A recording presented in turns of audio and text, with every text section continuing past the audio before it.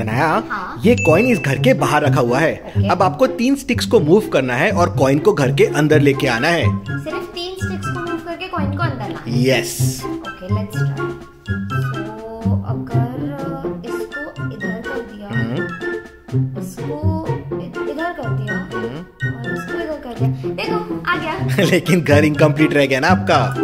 अब सपोज़ इसको ऊपर कर दिया इसको उल्टा कर देते नहीं तीन स्टिक में नहीं हो पाएगा।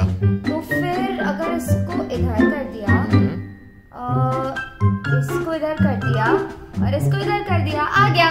ओ एकदम सही इतना एक क्लिक लाइक तो ज़रूर बनता है।